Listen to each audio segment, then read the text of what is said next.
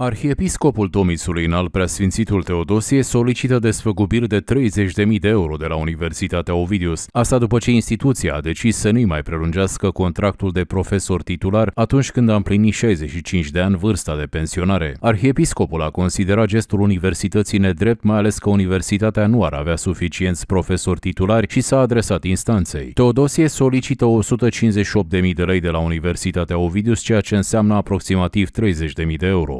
Banii ar acoperi drepturile salariale ale arhiepiscopului pentru anul universitar 2021-2022 și repararea prejudiciului moral. Acțiunea lui Teodosie urmează să fie judecată la tribunalul din Constanța pe 18 aprilie. Este un drept pentru că a fost totul tendențios. Au desfințat o regulă care o avea cu o lună înainte ca să nu mi se prelungească. Eu cu salariul meu făceam milostenie la studenții săraci, le plăteau taxele, la săraci, nu mi-am folosit salariul pentru mine niciodată. Și iată, eu am predat, mi-am făcut munca, dar fără plată.